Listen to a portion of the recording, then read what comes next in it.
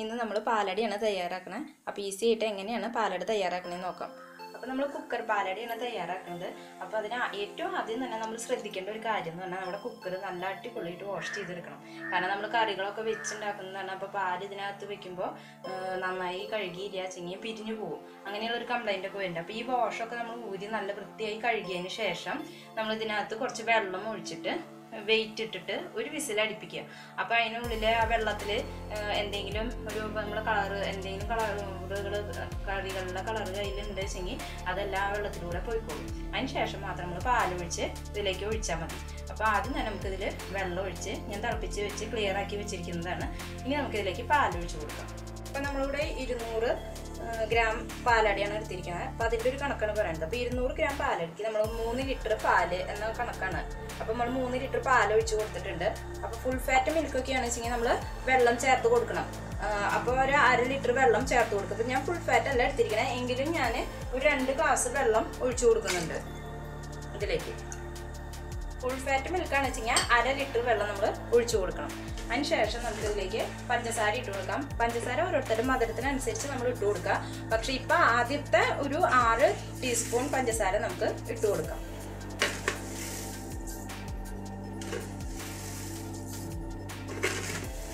പഞ്ചസാര നമുക്ക് അവസാനം പിന്നെ അതുപോലെ മധുരം നോക്കി ഇട്ട് കൊടുത്താൽ മതി. അപ്പം ഇനി നമുക്ക് തീ ഓൺ ചെയ്യാം. ഇപ്പോൾ നമ്മളിത് തിളയ്ക്കുന്നത് വരെ നന്നായി ഇളക്കി കൊടുക്കണം. തിളച്ചതിന് ശേഷം മാത്രമേ മൂടി വെച്ചിട്ട് അടച്ച് വെയിറ്റ് ഒക്കെ ഇടാൻ പാടുള്ളൂ. തിളയ്ക്കുന്നത് വരെ നന്നായി ഇളക്കി കൊടുക്കുക. അപ്പോൾ നമ്മുടെ പാലൊന്നും പിരിയില്ല. അതുപോലെ തന്നെ ഇപ്പോൾ അടിക്കട്ടിയുള്ള പാത്രമാണെന്ന് വിചാരിച്ച് നമ്മൾ ഇളക്കാതിരിക്കരുത് അപ്പോൾ അടി പിടിക്കും ചിലപ്പോൾ കാരണം ഒരുപാട് പാലുള്ള കാരണം. അപ്പോൾ നമ്മൾ നന്നായി ഇളക്കി തന്നെ കൊടുക്കുക. തിളയ്ക്കുന്നത് വരെ ഇളക്കി കൊടുക്കുക. ശേഷം നമുക്ക് അടച്ചു വെച്ച് ഇപ്പം നമ്മളിവിടെ എടുത്തിരിക്കുന്നത് വെള്ള അരിയുടെ അടയാണ് നമുക്ക് കിട്ടിയിരിക്കുന്നത്. ശരിക്കും നല്ല മട്ട അരിയുടെ അട കിട്ടും. അതാണ് വെച്ചെങ്കിൽ കുറച്ചുകൂടി നല്ല കളറും ഉണ്ടാവും ടേസ്റ്റും കൂടും. അപ്പോൾ നമുക്കിവിടെ വെള്ള അരിയിൽ കിട്ടിയിട്ടുള്ളൂ. ഒരുപാട് വെള്ളമല്ല ചെറിയൊരു കളറൊക്കെ ഉണ്ട്. എങ്കിലും നല്ല മട്ട അരിയുടെ ചോദിച്ച് നമുക്ക് വാങ്ങിക്കാൻ കിട്ടും. അതുപോലെ തന്നെ അതല്ലാന്നുണ്ടെച്ചെങ്കിൽ നമ്മൾ അട തയ്യാറാക്കിയിട്ടുണ്ട്. ഒരു വീഡിയോ അട തയ്യാറാക്കിയിട്ടുണ്ട് അടപ്രഥമന് മുമ്പായിട്ട്. ആ അടയും ഇതുപോലെ നമ്മൾ അതിൽ തയ്യാറാക്കിയ പോലെ തന്നെ ആക്കിയതിന് ശേഷം ചെറിയ കഷ്ണങ്ങളാക്കുക അതായത് എന്തെങ്കിലും അരിപ്പ കൊട്ടയുണ്ടെച്ചെങ്കിൽ ആ കൊട്ടയ്ക്കകത്തിട്ട് നന്നായി ഉരച്ചിട്ടുണ്ടെച്ചെങ്കിൽ ചെറിയ കഷ്ണങ്ങളായിട്ട് കിട്ടും. അതെന്ന് പറഞ്ഞെങ്കിൽ കട്ട് ചെയ്തെടുത്താലും മതി.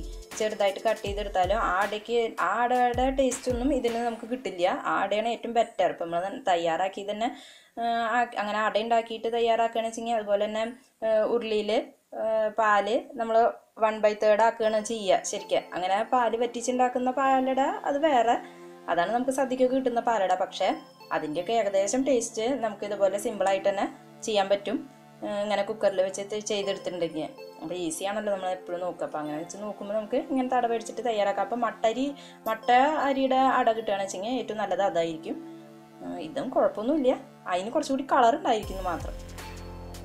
അപ്പം നമ്മുടെ പാൽ നന്നായി തിളച്ച് വന്നിട്ടുണ്ട്. അപ്പം നമ്മൾ ഇളക്കി കൊടുത്തില്ല എന്നുണ്ടെങ്കിൽ ഇതിന്റെ മുകളിലൊക്കെ പാട കിട്ടും. അല്ലെങ്കിൽ നമ്മൾ ഒരു മണിക്കൂർ നേരം ഇത് വെയിറ്റ് ഇട്ട് വെക്കുമ്പോൾ തന്നെ അത്യാവശ്യം പാട ഫോം ചെയ്യും. പക്ഷേ ഇങ്ങനെ ഈ ടൈമിൽ ഉണ്ടാവുന്ന പാട നമുക്ക് ഒഴിവാക്കാതുപോലെ ഇളക്കി കൊടുത്തിട്ടുണ്ട് വെച്ചെങ്കിൽ ഇനി നമുക്ക് അതിന്റെ മൂടി എടുത്തിട്ട് അടയ്ക്കാം. അപ്പോൾ അടയ്ക്കുമ്പോൾ നമ്മൾ ശ്രദ്ധിക്കുക വെയിറ്റ് വെച്ചിട്ട് അടയ്ക്കരുത്. കാരണം ഇത് തിളച്ച സാധനമാണ്. അപ്പോൾ തിളച്ച സാധനം നമ്മൾ വെയിറ്റ് വെച്ചിട്ട് അടയ്ക്കുമ്പോൾ എയർ നിൽക്കുമ്പോൾ നമുക്ക് കറക്റ്റ് അടയില്ല. അതൊരു അപകടമാണ്. അപ്പോൾ അത് കാരണം തന്നെ നമുക്കിത് അടയ്ക്ക. വെയിറ്റ് എടുത്ത് വയ്ക്കാം ഇനി ഒരു മണിക്കൂർ നേരം ലോ ഫ്ലെയിമിലിട്ട് വെന്ത് വരട്ടെ. അപ്പോൾ നമ്മുടെ പാൽ നല്ലൊരു പിങ്ക് കളറായിട്ട് വരും. അപ്പോൾ ഇനി ഒരു മണിക്കൂർ നേരം നമുക്ക് ലോ ഫ്ലെയിമിലിട്ട് വയ്ക്കാം അടുത്തതായിട്ട് നമ്മൾ ചെയ്യേണ്ടത് നമ്മൾ എടുത്ത് വെച്ചിരിക്കുന്ന അടയുണ്ടല്ലോ അത് നന്നായിട്ട് കഴുകിയെടുക്കുക. കാരണം ഇതിൽ അഴുക്കൊക്കെ ഉണ്ടാവും. കടയിൽ നിന്ന് വാങ്ങിച്ചതൊക്കെ വാങ്ങിച്ചതൊക്കെയാണല്ലോ അപ്പോൾ നന്നായിട്ട് കഴുകുക. രണ്ട് മൂന്നാൽ വട്ടം കഴുകിയതിന് ശേഷം ഒരു അരിപ്പയിൽ വെച്ച് ഊറ്റിയെടുക്കുക. അതിന് ശേഷം നമ്മൾ തിളപ്പിച്ച വെള്ളത്തിലേക്ക് ഇട്ട് കൊടുക്കുക. എന്നിട്ട് നന്നായിട്ട് നമുക്ക് വേവിച്ചെടുക്കണം. അപ്പോൾ നമുക്കിത് നന്നായിട്ടൊന്ന് കഴുകിയെടുക്കാം. അപ്പോൾ നമ്മുടെ വെള്ളം നന്നായി തിളച്ച് വന്നിട്ടുണ്ട്. അപ്പോൾ നമ്മൾ കഴുകി വെച്ചിരിക്കുന്ന അട നമുക്കിതിലേക്ക് ഇട്ട് കൊടുക്കാം. ഇത് നന്നായി വേവണം. കാരണം വേവ് കുറഞ്ഞു കഴിഞ്ഞാൽ നമ്മൾ പാലിലിട്ട് കഴിഞ്ഞിട്ട് വെച്ചെങ്കിൽ കറക്റ്റാ വേവാവില്ല. അങ്ങനെ മൂലച്ചിരിക്കും അട. അപ്പോൾ അത് കാരണം തന്നെ ഇപ്പം നന്നായിട്ട് നല്ലോണം എന്താ ഒരു ലെവൽ എത്തണം. നമുക്കിത് കുറച്ച് നേരം അടച്ചു വെച്ചിട്ടുണ്ടെങ്കിൽ ഇത് ആകെ തൂവി പോകുമ്പോൾ അത് കാരണം നമുക്ക് തുറന്ന് വെച്ചിട്ട് തന്നെ നന്നായി ഇളക്കി വേവിച്ചെടുക്കുക അപ്പോൾ അത്യാവശ്യം വെള്ളം എടുക്കണം. അപ്പോൾ ഞാനിപ്പോൾ ഏകദേശം ഒരു ഒന്നര ലിറ്റർ വെള്ളമൊക്കെ എടുത്തിട്ടുണ്ട്. നല്ലോണം വെള്ളം വെച്ചെങ്കിൽ മാത്രമാണ് അല്ലെങ്കിൽ ഭയങ്കര സ്റ്റിക്കി ആയിട്ടിരിക്കും അതിലത്തെ ആ ഒരു പശയൊക്കെ വരുമല്ലോ കഞ്ഞിപ്പശ പോലെയുള്ളതൊക്കെ വരും. അപ്പോൾ അത് കാരണം തന്നെ നമ്മൾ അത്യാവശ്യം നല്ലോണം വെള്ളം ഒഴിച്ചിട്ട് തന്നെ അട വേവിച്ചെടുക്കുക. തിളപ്പിച്ച വെള്ളമാകുമ്പോൾ പെട്ടെന്ന് തന്നെ നമുക്ക് തിളച്ച് കിട്ടും. നമ്മളിത് വെച്ചതിന് ശേഷം ഇളക്കി കൊടുക്കാൻ മറക്കരുത്. കാരണം അടി പിടിക്കും. അപ്പം അത് കാരണം തന്നെ നമ്മൾ ഇളക്കി കൊടുക്കണം. അതുപോലെ തന്നെ ഹൈ ഫ്ലെയിമിൽ ഇട്ട് കൊടുക്കണ്ട. തിളച്ചൊരു ഇതൊക്കെ ആയി കഴിയുമ്പോൾ നമ്മൾ മീഡിയം ഫ്ലെയിമിലിട്ടിട്ട് വേവിച്ചെടുക്കുക. ഒരു അഞ്ചോ പത്തോ മിനിറ്റ് നേരം മതിയാവും. അപ്പോൾ ഇത് നല്ല ട്രാൻസ്പെറന്റ് ആയി വന്നു തുടങ്ങിയിട്ടുണ്ട് നമുക്ക് പിടിച്ചു നോക്കുമ്പോൾ നമ്മൾ ജസ്റ്റ് ഒന്ന് എടുത്തിട്ട് നമ്മളൊന്ന് കടിച്ചു നോക്കുക അപ്പോൾ കടിക്കാൻ പാടില്ല.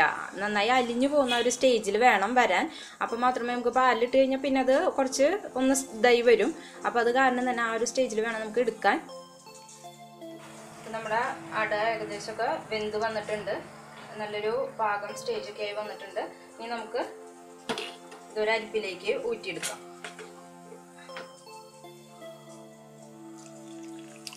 ഇത് അരി അരിപ്പിയിലേക്ക് ഊറ്റിയതിന് ശേഷം ഇതിലേക്ക് ഡയറക്റ്റ് നമ്മൾ തണുത്ത വെള്ളം ഒഴിച്ചു കൊടുക്കുക. നമ്മൾ അട ഒരു വലിയ പാത്രത്തിലേക്ക് ഇട്ട് കൊടുത്തതിന് ശേഷം ഞാൻ ഇതിലേക്ക് ഡയറക്റ്റ് നല്ല തണുത്ത വെള്ളം ഒഴിച്ചു കൊടുത്തിട്ടുണ്ടെങ്കിൽ സാധാരണ വെള്ളം കേട്ടോ പച്ചവെള്ളം ഒഴിച്ചു കൊടുക്കുക.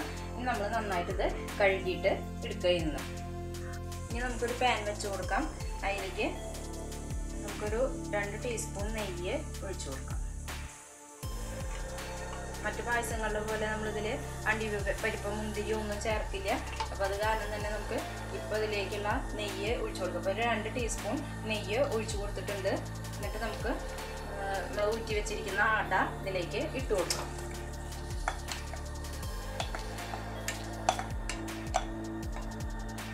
അതിനുശേഷം നമുക്ക് ഇതിലേക്ക് അടയിലേക്ക് നമുക്ക് മധുരം പിടിക്കണം. അപ്പോൾ പായസത്തിലേക്ക് പാലിലേക്കുള്ള മധുരം നമ്മൾ കുറച്ച് ഇട്ടിട്ടുണ്ട്. ബാക്കി മധുരം നമുക്ക് ആവശ്യമുണ്ട്.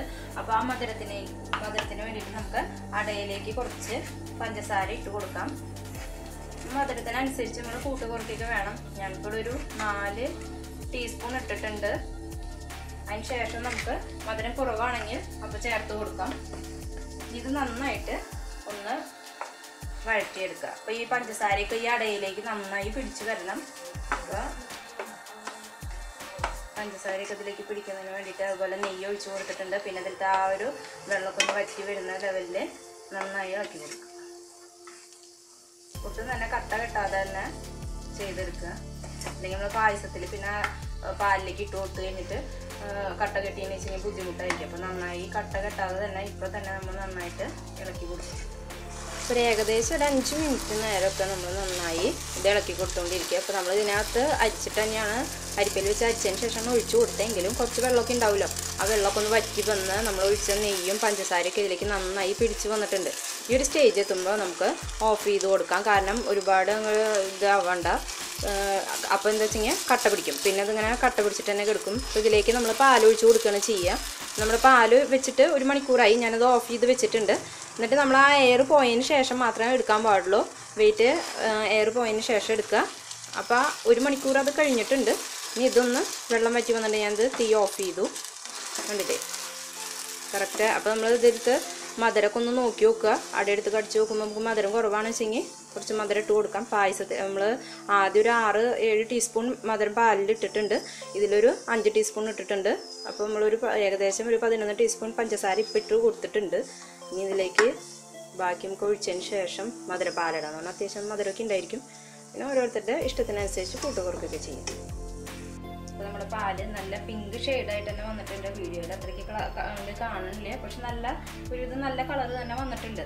അപ്പോൾ അത്രയ്ക്ക് അങ്ങോട്ട് പാടയൊന്നും കെട്ടിയിട്ടില്ല. എങ്കിലും നമുക്ക് ഇനി ഇത് തയ്യാറാക്കി വെച്ചിരിക്കുന്ന അടയിലേക്ക് ഇട്ട് കൊടുക്കുക അപ്പോൾ അരിച്ചൊഴിച്ചു കൊടുക്കുക. അപ്പോൾ അത്ര പാടാണെന്നൊന്നും പറയാനില്ല. നൈസായിട്ട് ഒരു ചെറിയ ഇത് ഇതുപോലെയുള്ള പാട മാത്രമേ വന്നിട്ടുള്ളൂ. എങ്കിലും നമുക്ക് അരിച്ചൊഴിക്കാം അപ്പോൾ നമുക്ക് പാൽ ഇതുപോലെ ഒരു അരിപ്പ വെച്ചിട്ട് ഇങ്ങനെ അരിച്ച് ഇതിലേക്ക് ഒഴിച്ചു കൊടുക്കാം. ബാക്കി എല്ലാ പാലും ഇതുപോലെ ഒഴിച്ചു കൊടുക്കാം. നമ്മൾ ഇതിലേക്ക് ആക്കിയതിന് ശേഷം വീണ്ടും നമ്മൾ തീ ഓൺ ചെയ്തിട്ട് വെക്കണം. കാരണം ഇതിൽ കിടന്ന് നന്നായി ഒന്ന് സെറ്റായി വരണം. പിന്നെ ശ്രദ്ധിക്കേണ്ട ഒരു കാര്യം എന്ന് പറഞ്ഞാൽ നമ്മുടെ പാൽ ഏകദേശം ഒരു മണിക്കൂർ ആയി വരുന്ന ആ ടൈമിൽ നമ്മൾ ആ അട തയ്യാറാക്കാൻ നോക്കിയാൽ മതി. കാരണം എന്താ വെച്ചാൽ അട നമ്മൾ ഇതിനകത്ത് നെയ്യും പഞ്ചസാരയൊക്കെ ഇട്ട് ആക്കിയതിന് ശേഷം ഒരുപാട് ടൈം അങ്ങനെ ഇരുന്നുണ്ടെങ്കിൽ അത് ഭയങ്കരമായിട്ട് കട്ട പിടിച്ചു പോകും അപ്പോൾ അത് കാരണം തന്നെ ഏകദേശം കറക്റ്റ് ആ ഒരു തുറക്കുന്ന ആ ടൈമിനോട് കൂടിയിട്ട് നമ്മൾ ചെയ്യുകയാണെന്ന് വെച്ച് കഴിഞ്ഞാൽ ഇങ്ങനെ ആക്കിയതിന്റെ പിന്നാലെ തന്നെ നമ്മൾ പാലൊഴിക്കുകയാണെന്ന് വെച്ചാൽ ഒട്ടും തന്നെ നമുക്ക് കട്ട കെട്ടാതെ കിട്ടും. അല്ല അതുപോലെ തന്നെ നമ്മൾ കുറച്ച് ഞാൻ പറയാൻ വിട്ടുപോയി. ആദ്യം തന്നെ നമ്മൾ ഒരു ഇത്തിരി പാലൊഴിച്ചതിന് ശേഷം അപ്പം തന്നെ നമ്മൾ ഇളക്കിയിട്ട് കട്ട ഉടച്ചെടുക്കുക. ഇനിയിപ്പോൾ അതൊന്നല്ല ഇതുപോലെ ഇങ്ങനെ എടുത്തതിന് ശേഷം പിന്നെയും കട്ട കെട്ടുന്നതായിട്ട് തോന്നുന്നുണ്ടെങ്കിൽ ഒരു സ്പൂണോ അല്ലെങ്കിൽ പോക്കോ ഉപയോഗിച്ചിട്ട് ജസ്റ്റ് ഒന്ന് ഇങ്ങനെ ആക്കി കൊടുത്താൽ മതി. അതിന് ഒരുപാട് കട്ടയൊന്നും കിട്ടിയിട്ടൊന്നുമില്ല. ഇതേപോലെ ഒന്ന് ആക്കി കൊടുത്താൽ മതി. ഇനി ഇത് നമ്മൾ നന്നായി ഇളക്കി ഇതിന്റെ ആ ഒരു കൺസിസ്റ്റൻസി വെട്ടണം അപ്പോൾ ഇത് ഭയങ്കര ലൂസാണ്. അപ്പോൾ നമുക്ക് ഓരോരുത്തരുടെ താല്പര്യത്തിനനുസരിച്ച് അതിന്റെ ആ ഒരു ലൂസ് കൺസിസ്റ്റൻസി ഒക്കെ നമുക്ക് അത് അനുസരിച്ച് ചെയ്യാം. അപ്പോൾ നമുക്ക് ഇതിപ്പോൾ ഭയങ്കര ലൂസാണ്. കുറച്ചും കൂടി ഒന്ന് നല്ലോണം കട്ട് ചെയ്ത് വരട്ടെ.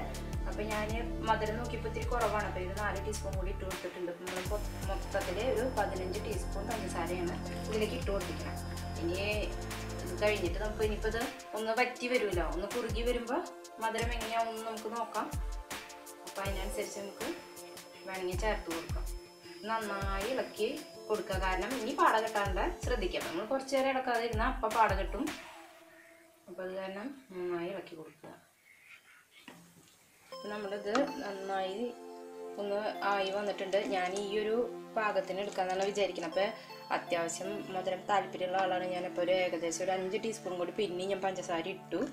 അപ്പോൾ ഏകദേശം നമ്മളൊരു ഇരുപത് ടീസ്പൂൺ പഞ്ചസാര ഇട്ടിട്ടുണ്ട്. എന്റെ മധുരത്തിനനുസരിച്ചിട്ടാണ് ഞാൻ ഇട്ടേക്കുന്നത് അപ്പോൾ ആദ്യം തന്നെ നമ്മൾ മൊത്തത്തിൽ പഞ്ചസാര ചേർക്കരുത്. കാരണം പാലൊന്ന് കുറുകി വരുമ്പോൾ തന്നെ മധുരം അങ്ങനെ കയറി വരും. അപ്പോൾ അത് കാരണം തന്നെ നമ്മൾ നോക്കി നോക്കിയിടുക അതായിരിക്കും കൂടുതൽ നന്നായിരിക്കുക. പിന്നെ ഇനി ഇതൊന്ന് തണുത്ത് കഴിഞ്ഞാൽ ഒന്നും കൂടി അതൊന്ന് കുറുകി വരും. അതുപോലെ തന്നെ നമ്മൾ പഞ്ചസാര ഇട്ടിട്ട് ഇട്ട് കഴിഞ്ഞാൽ പിന്നെ അത് നന്നായി ഒന്ന് തിളച്ചൊന്ന് സെറ്റാവുന്നത് വരെ ഇളക്കി കൊടുക്കണം. അതുപോലെ കണ്ടൻസ്ഡ് മിൽക്ക് ചേർക്കാൻ താല്പര്യമുള്ളവർക്ക് ചേർക്കാം. അപ്പം മധുരം നമ്മൾ ഇടുമ്പോൾ ശ്രദ്ധിക്കണം. കാരണം അതിനകത്ത് അത്രയും അത്യാവശ്യം തന്നെ മധുരം ഉണ്ടായിരിക്കും അപ്പോൾ അത് കാരണം തന്നെ അപ്പോൾ പഞ്ചസാര ഇടുമ്പോൾ നമ്മൾ ശ്രദ്ധിക്കണം. കണ്ടൻസ്ഡ് മിൽക്ക് ചേർക്കണം നിർബന്ധമൊന്നുമില്ല. അതൊന്നും ചേർത്തില്ലെങ്കിലും നമുക്ക് നല്ല ടേസ്റ്റുള്ള പായസം തന്നെയാണ് ഇപ്പോൾ കിട്ടിയിരിക്കുന്നത്. കണ്ടൻസ്ഡ് മിൽക്ക് ഞാൻ നാളത്തെ കുൽഫി തയ്യാറാക്കിയപ്പോൾ ഞാൻ പറഞ്ഞിരുന്നു കണ്ടൻസ്ഡ് മിൽക്ക് ഞാൻ ഇടാന്ന്. അതിന് പ്രത്യേകിച്ചൊന്നുമില്ല. നമ്മൾ പാലും പഞ്ചസാരയും കുറുകി വരുന്ന ഒരു സ്റ്റേജ് അപ്പോൾ ഇത് കുറുകി വന്നാൽ ഏകദേശം ആ ഒരു ടേസ്റ്റിലേക്ക് തന്നെയാണ് വരുന്നത്. അപ്പോൾ കണ്ടൻസ്ഡ് മിൽക്ക് ചേർക്കുകയാണെന്ന് വെച്ച് നമുക്ക് ഇത്ര അധികം വറ്റിച്ചെടുക്കേണ്ടതെന്ന് മാത്രം ഡയറക്റ്റ് അത് ചേർക്കുക. ഒന്ന് സെറ്റ് ആയതിനു ശേഷം ഓഫ് ചെയ്യുക. അത്രേ ആവശ്യമുള്ളൂ. അപ്പോൾ ഏകദേശം ഇപ്പോൾ ഇത് നല്ല കളർ തന്നെ ഉണ്ട്. പക്ഷേ ഇതിപ്പോൾ ഇതിലത്തെ ഒരു ഇത് കാരണം മനസ്സിലാവുന്നില്ല. ഇപ്പം ഞാൻ ഈ ഒരു ബൗളിലേക്ക് ഒഴിച്ച് കാണിച്ചു തരാം. ഏകദേശം ഇതിന്റെ ഒരു കളർ എന്താ. ഇനി നമ്മൾ ചെയ്യേണ്ടത് എന്താണെന്ന് വെച്ചിട്ടുണ്ടെങ്കിൽ ഉപ്പിട്ട് കൊടുക്കണം. അതായത് ഒരു നുള്ള്. ഒന്നോ രണ്ടോ നുള്ള് ഉപ്പിട്ട് കൊടുക്കുക. അപ്പോൾ നമുക്ക് ആ മധുരം കറക്റ്റ് ബാലൻസ് ചെയ്ത് കിട്ടും. അപ്പോഴാണ് നമുക്ക് ആ കറക്റ്റ് ഒരു മധുരം ഫീൽ ചെയ്യുള്ളൂ. അപ്പം നമുക്ക് അതിലേക്ക് ഞാൻ ഉപ്പിട്ട് കൊടുത്തിട്ടുണ്ട്.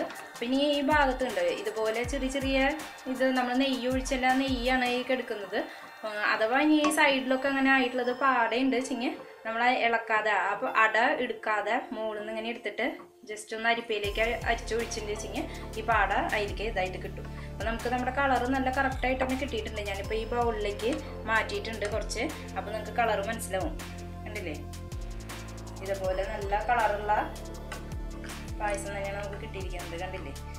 വൈറ്റ് ബൗളിലേക്ക് ആയിട്ടാണ് അതിന്റെ കറക്റ്റ് ഒരു കളർ മനസ്സിലാവും അപ്പോൾ നമ്മുടെ പാലട തയ്യാറായിട്ടുണ്ട്.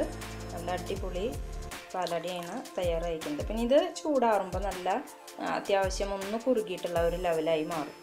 അപ്പോൾ എല്ലാവർക്കും ഇഷ്ടമായി കാണുമെന്ന് വിചാരിക്കുന്നു. അപ്പോൾ ആദ്യമായി കാണുന്നവർ തീർച്ചയായും സബ്സ്ക്രൈബ് ചെയ്യുക ഷെയർ ചെയ്യുക ലൈക്ക് ചെയ്യുക. അടുത്ത റെസിപ്പിയുമായി നമുക്ക് വീണ്ടും കാണാം. താങ്ക്